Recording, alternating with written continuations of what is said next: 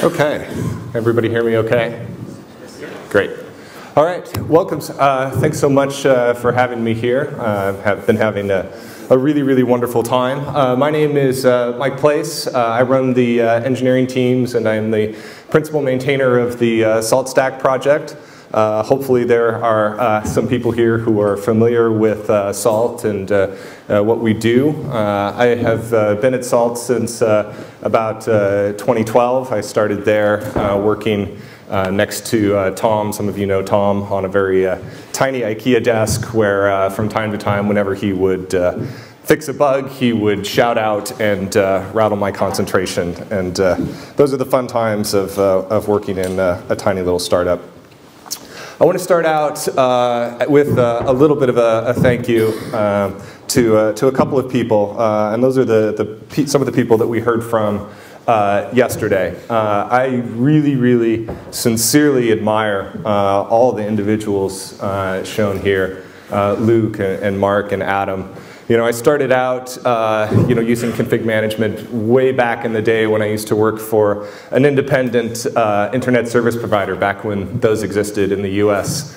Uh, in, uh, in Salt Lake City, Utah, uh, in the mid 90s, uh, running Linux and, and Solaris servers. And I remember using CFEngine for, the, for the first time and really being struck by the the brilliance and foresight uh, that Mark had. And uh, as I was preparing uh, this presentation uh, this week, uh, I was really, really struck by uh, how many of the ideas that, that Mark thought about and, and worked on all those years ago are still not only relevant, but driving where we're going into the future. Um, those were back in the days when uh, I had, uh, I was a Puppet user at the time and I would use Puppet and uh, Andrew Clay Shafer would come over uh, on the weekends with his kid and let him play under uh, the desk while uh, we configured Puppet. So that was a lot of fun. So thanks to those gentlemen. So what I'm here today to talk about is uh, some ideas uh, around the notion of uh, event-driven infrastructure. This is a term that uh, you may have heard uh, a little bit over, over the past year. And event-driven infrastructure is not, I think, a new idea. and I think as Adam really, really wisely pointed out yesterday, uh, the best way, one of the best ways to understand, I think, where we're going uh, is to look and understand where we've been. And that is true not only when you look at config and automation, uh, but we're drawing so many of the lessons uh, that we're learning today uh, from the past. And so uh, if you really, really want to understand config in the automation space, uh, I think it's really important to take a little bit of a, a little bit of time to take a short tour uh, back through some of the, uh, the history of distributed computing because understanding some of the fundamentals of distributed computing and the problems that people were thinking about 10, 20, 30 years ago uh, really can help us understand what modern infrastructure and what modern automation techniques might look like today. Uh, I want to start with a question that has been on my mind and uh, I can't get it out. Uh, and that is how do we reason about complexity uh, in infrastructure today? And the reason that I can't get this idea out of my head is because I can't figure out how we describe complexity in a precise way in modern infrastructure. And this is really troubling to me, right? Like if you're a software developer, you know, you go to pretty much any software developer interview, if you go to one of ours, you know, for example, uh, you know, we'll quiz you uh, about big O notation, right? And we'll quiz you about algorithmic complexity and how can you determine uh, in a mathematical or a logical way exactly how complex any given algorithm is, right? You know, hopefully many people in this room are familiar uh, with that notion. Uh, but the thing that I can't get out of my head is uh, try to think about how do we do that for a modern infrastructure, right? You walk in in your first day on a job uh, and somebody says, yeah, this is a complex system. And you say, how complex? And they say, super complex, like really complex, kind of complex. And this should trouble us a little bit because if we can't describe this even in anything less than general terms, how do we know when we're making progress? Right? How do we know when things are better? It maybe feels a little bit less complex. Uh, we know, I think, in a general sense, that infrastructures are getting more and more complex. Uh, and I think the way that we know this, in all likelihood, is that there's just more of everything, right? There are more containers, more systems, right? We know, you know, we've been through virtualization, we're now into containerization, we're now looking at, you know, really complex uh, application runtime environments. Uh, we know that complexity is increasing, uh, but it's really hard to figure out and reason about how that's happening. Um, like I mentioned before, new ideas are hard to come by. And so I think when you look at uh, the state of automation today, uh, it's really in many ways uh, a reconstitution of uh, some, some old ideas. When we look at event-driven infrastructure, which we'll start to talk about here in a moment, uh, you know, these ideas were talked about, you know, by, you know, Larry Ellison, you know, the folks at Oracle. Uh, they've been talked about, uh, you know, in terms of, you know, ideas like an enterprise service bus, right? We're talking about them now in terms of uh, service meshes. So let's get down to the principles and see if we can sort out what we're really talking about. When I look back at distributed computing, uh, I see three main pillars uh, that we can use to sort of anchor ourselves in the problem. Okay.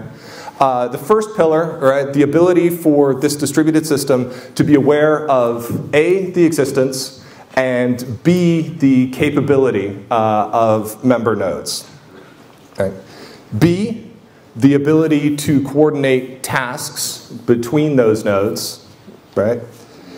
And of course, C, uh, and uh, most importantly to our conversation today, um, some type of inter-process communication, right, or inter-node communication, uh, which can connect these nodes in the system to each other.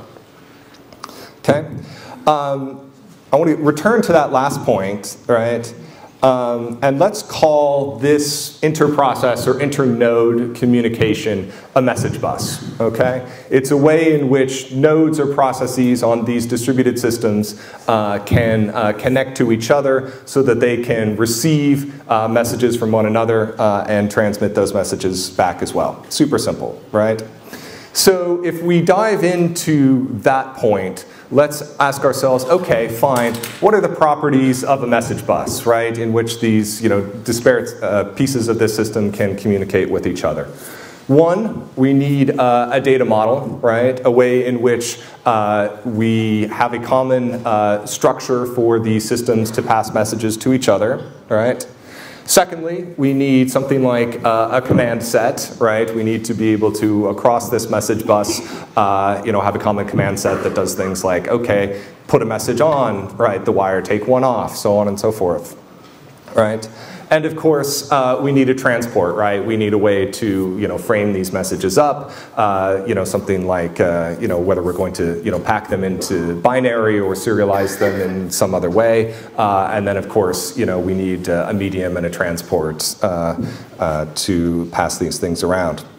Now, as we dive into event-driven infrastructure, I want us to take this idea of a message bus, right, this internode communication, and move it up into uh, a model for teams, right? And so I'm going to submit to you that there are message buses for operations folks, right? Um, these are things like uh, monitoring, right, uh, is a message bus. Configuration management, in a way, all right, is a message bus. Things like chat ops, right, auto scaling, right, serverless, right, uh, all message buses for operations, provisioning. Um, but we also have message buses on the uh, developer or the application side, right, of our infrastructure. Anything that connects these various layers of uh, a web stack to each other, right, we can think of uh, as, uh, uh, as having a message bus. And sometimes these are streaming, sometimes they're set up, they're torn down on demand, uh, what have you.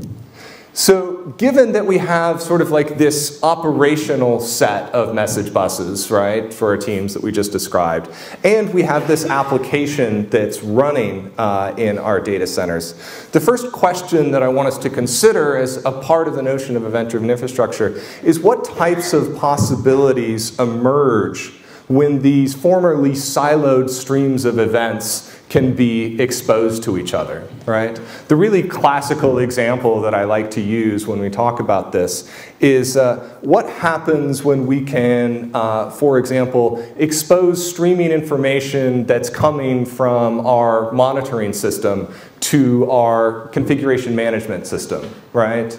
Uh, when we start to think about things in that way, we can come up with ideas uh, that say, oh, okay, there doesn't need necessarily to be this hard wall, right, between this monitoring system that's providing alerts, right, and this configuration management system with us in the middle, right, because, uh, you know, that sucks. Uh, what what if we could take you know, the uh, flow of information that was coming in from this monitoring system, right, and have a configuration management system or an automation system that hears those events as they happen and knows how to respond accordingly, right? If that idea is starting to click with you, uh, um, event-driven infrastructure might be something that is of interest. So let's ask ourselves, what does most automation look like right now? Uh, and I say this with uh, all the loving kindness in the world as a person who you know, uh, makes a living by building automation systems. But in a, in a, very general sense, automation systems contain, you know, packaged workflows, right? Uh, you know, there are a bunch of different approaches about how those workflows should operate. Uh, some vendors, right, you know, SaltStack among them, takes a very data-driven approach to what those workflows should look like.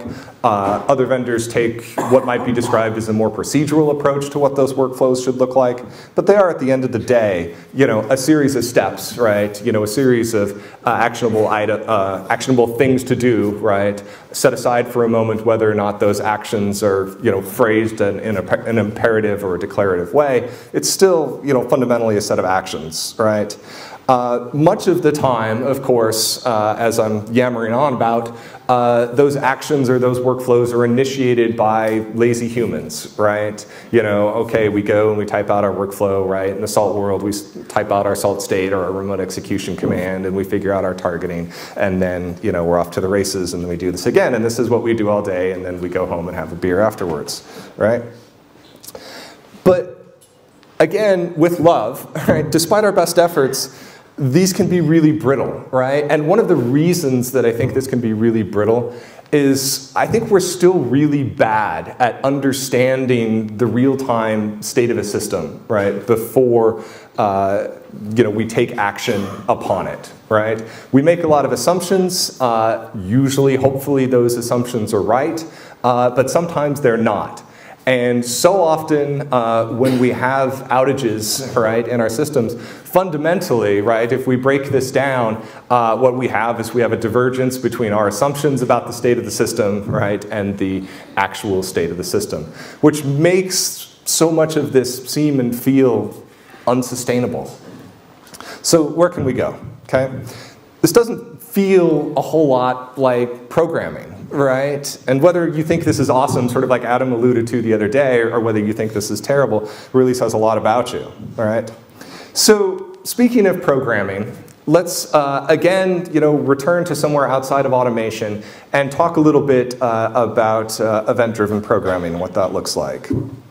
Right, for those who don't know, who don't come uh, from the, the, developer world, uh, event-driven programming is this uh, paradigm, right, uh, where user actions or some type of action, right, um, is, uh, is effectively sensed, right, uh, from other programs or threads, right. and so what you have is you have uh, a series of listeners, right, which are listening, right, for events that hap are happening, right, in this program. They are listening for a mouse click, right, if, you know, uh, if you've ever uh, written code for iOS, right, like you're listening for, you know, uh, touches, things like that, and then you register handlers, all right, for things that can happen when those events occur, okay? So get that paradigm in your head, right? The notion that uh, we can have disparate parts of a system, right? Uh, expand that to the notion of a distributed system, expand that to the notion of an infrastructure. We can have disparate parts of this infrastructure which are listening for events, right, and then responding accordingly. Okay? There are a number of examples of event-driven uh, programming, right, in the JavaScript world, and I know, boo, right, uh, Node.js, right, GUI applications, boo, right, uh, things of that nature, right.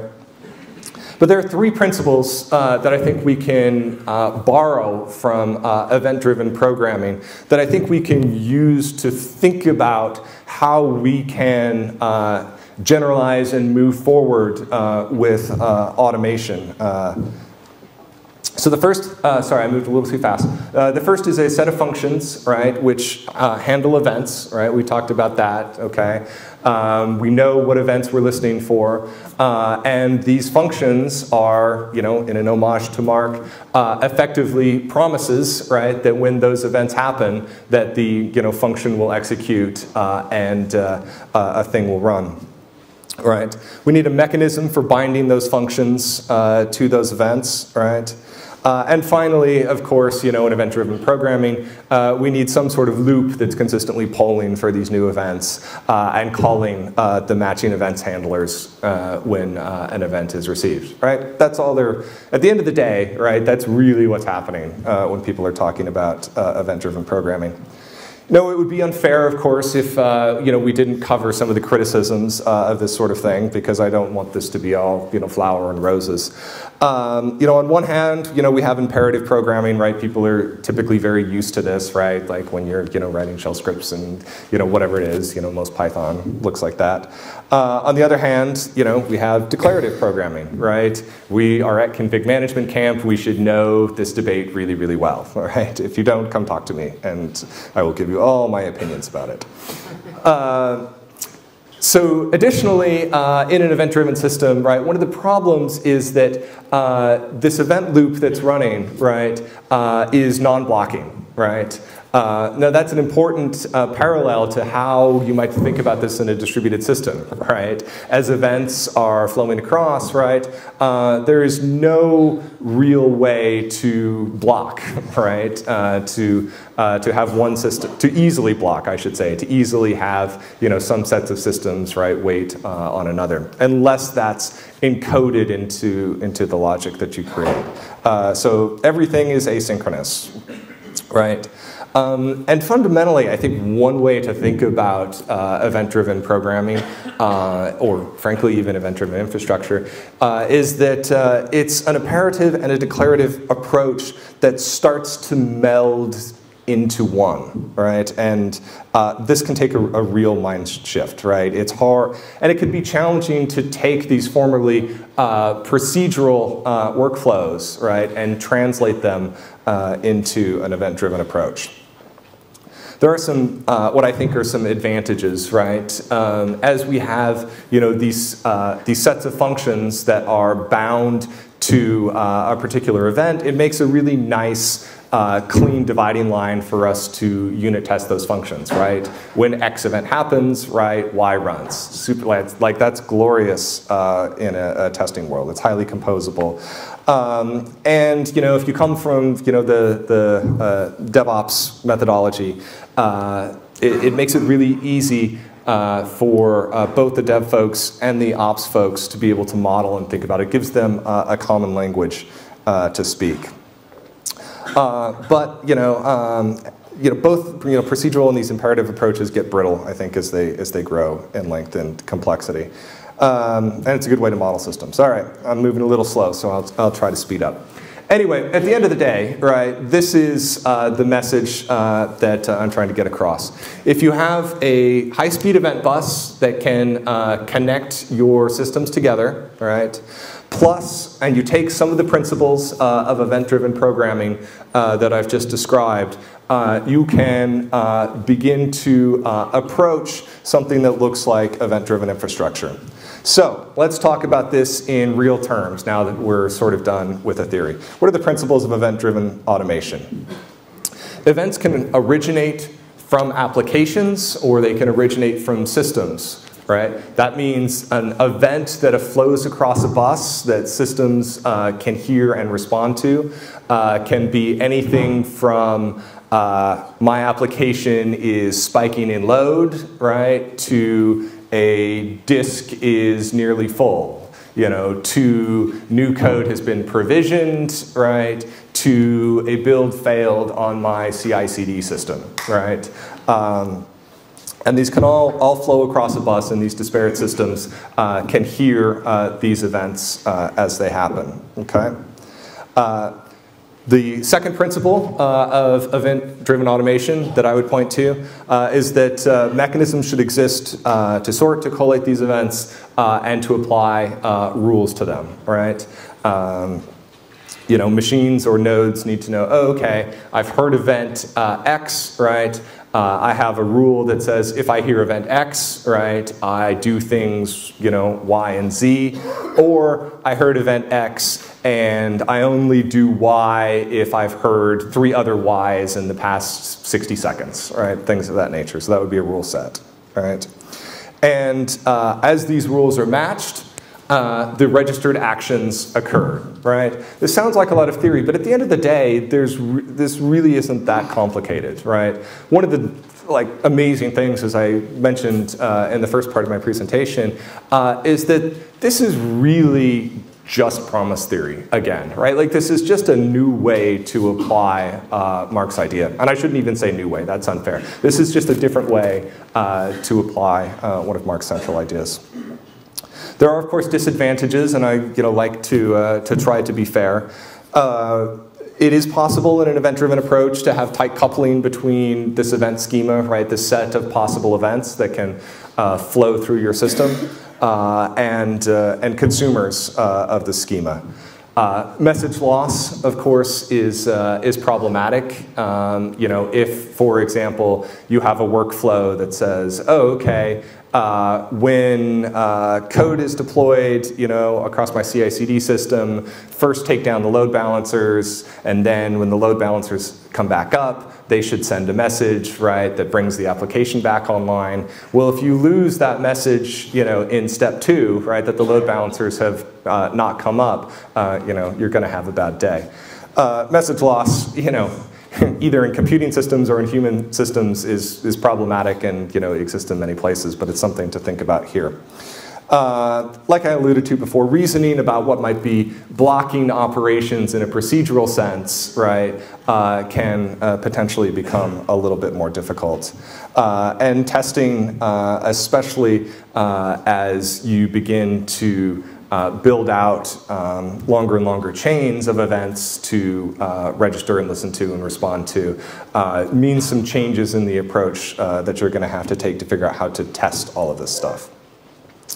Some of the advantages of this that, that I see, um, I see this uh, as a path toward uh, scalability. It's going to become harder and harder and harder and harder uh, for us to scale these systems, um, whether or not uh, it's an immutable approach, whether or not uh, it's a top-down hierarchical approach to managing these systems.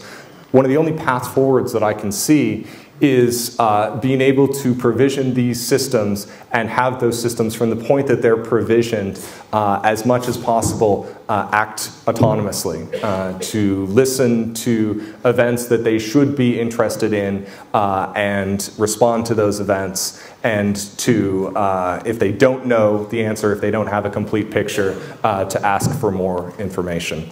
in my view, that's, that's the way we're going to need to go. Um, I mentioned this is like a DevOps uh, automation backplane. Um, you know, that's fine. uh, this does more than just configure and provision systems uh, at, at, their birth. I think uh, one of the things that I think is most important uh, to think about in this space is lifecycle management. If you've ever heard me rant and rave about this stuff, uh, I feel very strongly uh, that, uh, that automation needs to think about the entire lifecycle uh, of the machine. Uh, too often, in my view, uh, this space is framed as this idea of, oh, okay, this is going to be primarily about the birth of the system, right? This is going to be about, uh, I have a stock, you know, Red Hat image here, and I need to apply, you know, some set of states to it, and I need to make it into entity X, right? And, you know, from that point, the automation system uh, doesn't play as much of a role. Uh, I think the automation system can and should play as much of a role throughout the lifetime of the system uh, as it does uh, at its birth. Uh, and the final advantage uh, is that I believe it provides an immediate and common programmable language uh, that exists on top of some of these systems. So fine, how do we build one of these, all right? Uh, I'm going to talk, you know, in a general sense, this will roughly kind of model the way uh, SaltStack has built theirs, uh, but uh, hopefully it should be generic enough that uh, if you want to take some of these ideas and, you know, build out proof of concepts for your own systems, uh, it should give you a start. Okay, uh, the first thing we need to do uh, is we need to think about uh, the flow of messages across these bus. An event is emitted, right? It would flow uh, to a manager, right? Which could be uh, either a centralized manager or it could be a manager which exists on a system to be managed. The manager checks to see if the event matches a registered handler. If so, the series of rules are checked. Um, and when rules are matched, right, an action is undertaken. That's really all that's happening here. So what moving pieces do we need? We need an event bus transport, right? Uh, we need uh, telemetry, right? We need uh, events, right, uh, to, uh, to flow across the system so that we can, you know, imbue this thing with some meaning. Uh, we need actors, right, which can, you know, receive these events and act upon them if appropriate. Uh, and uh, we need uh, reactors, right, which can uh, take these events, right, as they come in, right, uh, figure out if uh, reaction is needed, and potentially translate those events and, and rebroadcast them. okay. So what sorts of things do we need uh, to build uh, just any sort of, I think, generic message bus? Uh, it should handle security, it should handle reliability, it should handle serialization. Uh, it may handle, you know, any, any of these things, right? Uh, we don't need to get uh, too much into this. I'll put these slides up, of course, so that you can refer to them later if you so desire. The most common message bus topology, right, uh, that, that, that, I see, right, would be something like, uh, like PubSub. Uh, this, I don't think, is a requirement for this type of model, uh, but um, you know, most of those implementations are, are brokered, right? I'm, you know, again, I come from, you know, the SaltStack world, right? Uh, ZeroMQ is, uh, is our mama. Um, you can use push-pull, right? There's simply no reason uh, that you couldn't, or you could use fan-out, whatever, whatever floats your boat. Now, of course, there are all kinds uh, of projects, right, that will give you most of what you need right off the shelf, right? Uh, and most people in this room, I think, are familiar with what those are, right? Like I said, uh, ZeroMQ is our weapon of choice, right? There are all types of other message queues, right? Um, SaltStack, of course, I would point out uh, being one of those, right? So, uh, we talked about telemetry, the ability for applications to emit uh, events onto this bus, right? Uh, this telemetry should be light and easy enough that it's simple enough to point, uh, port into, into language. Uh, why? Because uh, if we have this application, right, that's running in the distributed sense, we want to make it easy for our developers when appropriate, to be able to uh, emit their own events onto this bus, right? Uh, because in that way, I think we have a really nice uh, mechanism uh, for developers to say, oh, okay, here's some application telemetry that I'm thinking about, right? Uh, you know, the application is, you know, under stress or under load or some event has happened. We can put that onto the bus, right? And if our automation and configuration management system, all of our automation systems are underneath uh, listening to those, uh, then we can have the infrastructure configure itself uh, or reconfigure itself uh, as appropriate. This telemetry, of course, should be lightweight messaging. Don't push a bunch of uh, information around. So for those of you uh, who are uh, Python programmers, which like these days in 2018 is probably a lot of us, uh, here is you know very much how simple it is uh, to build one of these uh, in Python. This is 0MQ, right? And this is it. I don't know how many lines of code this is, you know, like probably 10 or 15. Uh, but something like this, right? Uh, you're up and running, you know, with uh, with a message bus uh, and sending messages uh, to uh, connected clients. So super easy. Again, the slide will be up. so decision engines, right? A decision engine um, in a system like this would be would be what takes these events, right, that are registered, right, and figures out which actions need to be performed. Of course, you know, these can be as simple or as complex as uh, a person wants, right? Um, I didn't build out uh, the code for what a decision engine uh, would look like, at least not in this presentation. I have some up on GitHub that you can look at if you're so inclined. Uh, but it's really you know, not that hard, right? So what I displayed here would be uh, what this might look like uh, in a configuration sense, right? You know, we have on the top there client load, right? Uh, which this sort of models the way that uh, SALT does this in, in some way. Um, that uh, would say something like, okay, if I receive any event in the client load uh, namespace, uh, here are a set of reactions, right? Um, so I have three areas here, right? I have a reaction, right, which says, oh, okay, you know, print this thing, right, log this thing uh, I have a register, right, uh, which can uh, control the number, or I'm sorry, forgive me, uh, record the number of events that have happened over a particular time or the type, right, uh, so that we can do things like say, oh, okay, if we've received X number of events or X number of events of severity, right, uh, a register can put together and control these, right. Uh, and then uh, a set of rules, right? And that's where you know we tie together, right, something like uh, a register, right, and a set of reactions. So this is by no means like some sort of like magical best practice. This is you know stuff you might think about if you know uh, building something like this is is your piece of pie. Uh, so an actor is simply what's run, right, as the result uh, of an event matching a given rule.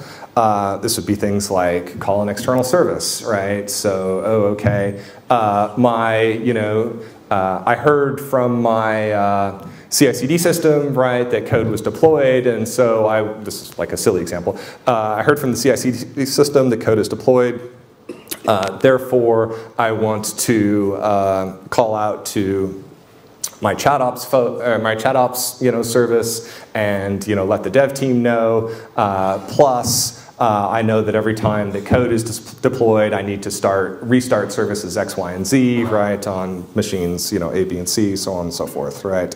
Could be a configuration management call, like I just said, code running locally, what have you. Okay. So it should be no secret by now uh, that, uh, that SaltStack, you know, sees the world uh, in this way. Um, one interesting thing, and I really have no idea uh, if, uh, if Tom is going to be upset about me telling this story or not, so let's all tweet it out and find out. Um, which is that uh, when we started uh, building SALT uh, in 2011, uh, we did not set out to build a configuration management system, right? The problem that we were trying to solve at the time, or Tom was trying to solve, was, was remote execution. Uh, and config management uh, people kept you know coming and saying, oh, you know, this needs to do config, and Tom was like, mm, I, mm, I, don't really want to. Uh, and finally, it just really got to the point uh, where resistance was futile, and you know, pull requests were coming in to start to add a config layer, and we ended up doing that. And you know, as as things go with these sorts of projects, you know, you go where the where the community wants to go in many instances. But um, I think that has informed the way we see configuration management now, uh, which is you know, fundamentally as, um, as a service uh, which exists inside a generalized automation framework right? Uh, we don't see you know, config as this you know, application that you deploy. We see config as what does the heavy lifting, right, inside of a much larger automation space. So how do we think about this? How, how have we structured this? Uh, here's you know our, our sort of marketing uh, diagram. Uh, but uh, you know we have a, a many-to-one model, right, uh, for what we call uh, masters and minions, right? Masters are the centralized management nodes which can connect to what we call minions, which are the managed nodes, right? Uh, and they connect across, as you can see, uh, an event bus, right? Which for us, like I said, uh, is ZeroMQ. Events are flowing across this bus. Uh, they can say things like, okay, uh, apply this configuration. Uh, but the really nice thing about this event bus, in my view, is that it's persistent, right? this is not something that gets where you connect, right, and you do your work and then you tear down uh, the connection like you would have, you know, in, a, in an SSH-based world. This is a persistent uh, TCP connection so that we always have events uh, flowing uh, across this bus. Now, uh, on the, uh, the master side of things, we have what are called engines, which are simply Python programs, right, uh, that can uh, run in a process and connect to this bus. Uh, and that uh, allows a really simple way uh, for you to go, oh, okay, on the master side, I'm going to listen for events that come in uh, from the minions. And that way I know, right, if I'm interested in a particular event, I can write some, I can write five lines of Python that say, oh, okay, event X has happened, right, perform action Y. Um, also on the master, we have uh, what we call the idea of a reactor, which is how we tie together uh, the configuration management service, right, uh, to events uh, that are happening, right? And so an event will flow in uh, from the infrastructure on the master. The reactor can be configured to listen for this event, and you know when it occurs, uh, you know some action uh, is deployed out onto the system. So that allows uh, you know, these complex distributed systems uh, to have a central point where events can flow into, uh, and then the system can be dynamically and automatically uh, reconfigured as events of interest uh, are registered.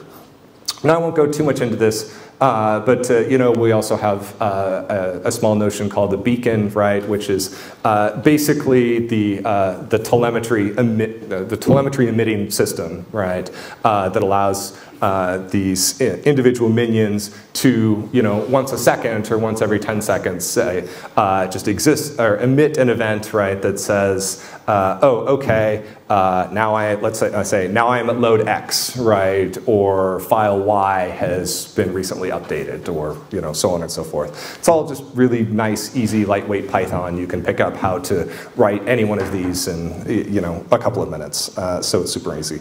Um, yeah, I actually just like blew through all this stuff, really simple. Uh, so let me talk about uh, like a real world practical example. So hopefully, you know, all this uh, theory can connect to a real space in your head, uh, which is, uh, you know, how to translate uh, events uh, with an engine. Okay, so let's exam or let's imagine, you know, we're configuring a network, right? and so what happens is, okay, here on uh, our networking device, right? Uh, we go, oh, okay, a thing has happened. Uh, therefore, um, uh, the networking device, right, this in case, uh, in this case, running salt, right, or what it, specifically what would be a salt proxy, but operational detail, uh, would emit uh, this event onto the bus. As you can see, this is just structured data, right? This is you know just a dictionary, right? And it says, okay, this thing has happened, and here's some information about the thing, right? Uh, over on the, uh, the master side, right, or we actually can run uh, reactors, well, yeah, you know, pretty much anywhere these days. Um, we have a reactor that basically says, oh, okay, hey, you know what? If I hear any event, right, that uh, uh, matches this namespace, uh, here are two state changes, right? Here are two uh, sections of configuration management state uh, that I want to change, right? Go and do the, these things, right? Uh, as you can see, oh, pardon me, right? This refers to uh, two states, right? Um, IF down, right? And IF down send mail, all right? Uh, I should point out, I'm pretty sure I borrowed this example from Mircea, so if he's here, Mircea, sorry for not asking permission, and thank you. Uh, Uh, so you know, here is the, the state file, uh, which simply describes uh, the thing that we're going to do. Now we're deep into what should be regular configuration management, right? Um, you know, this is, if you know salt, right, this should be uh, extremely obvious. I don't need to get into how to write salt state files uh, for this. Uh, anyhow, uh, my slides are there. I did borrow this from Mircea. Uh, you can read more about that example there. Uh, so, in review, all right, uh, some of the takeaways uh, that uh, I hope uh, can come across. Uh, the first is to build scalable systems, right? We need to, you know, adopt the historical lessons of distributed computing, right? And we can migrate from, you know, simple human-initiated workflows, right, to something that is more reactive, that is more event-driven. Uh, and we can use that uh, to manage some of the complexity uh, in our system. And uh, finally, event buses are pretty good, so let's build more of those.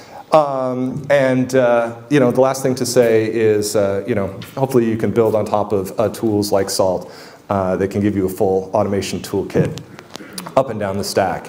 And uh, you know, even if it's not salt, uh, the final thing that I would like to say is that uh, you know, if you look at salt, uh, please don't use salt until you've looked at Puppet and Chef, right, and CFEngine, uh, because these are really, really wonderful tools that I admire uh, very much. And I absolutely encourage everybody to look at all the ideas uh, that are in this space uh, because there, there are so many smart people bringing uh, so much to the table. Uh, and like I, I, said in the very beginning, I'm very, very grateful uh, to them for, uh, for all their work and, and all the inspiration. So that's it. I don't know if I have time for questions or not. I really did not get a timer out. So three minutes, no questions. Yeah, okay. Oh, I can have questions. Okay. so are there questions? Yeah. So, has all of this helped you understand the complexity of the system? And if so, how? Yeah. Uh, it does help me understand the. yeah. Oh, can I repeat the question? Does all of this help me understand the complexity of the system, and if so, how? Uh, yes, I think, well, there are two things to say. One, I think there's a much larger conversation to be had about uh, how we are modeling systems these days, all right? Uh, because, um, look, even if uh, we're describing systems, right, as we're doing right now in, in some systems like SALT, basically from a data-driven approach, right, which basically says, okay, this is system X, this is system Y, so on and so forth. I really don't think that's where modeling needs to be. I think we can do much, much better, right? Uh, and um, in this case, this does help me look at an individual system and reason uh, about its role, right? And reason in what I consider to be a really clear way about the promises, right, that uh, it is supposed to be keeping uh, and uh, the what it's supposed to be responding to. Um, one of the lessons that I've learned as I've gone through this, you know, for many, many years, is that not every system and not every approach clicks with every brain, right? Some people look at, at SALT and they're like, this is the way my brain works. And some people look at it and they're like, this is not, right? Uh, for me, yeah, this does make sense. And it makes sense because um, I, am a big fan of the promise theory approach, and to me, this uh, outlines that in a, a, way that's very clear to my brain. So, yeah, other questions?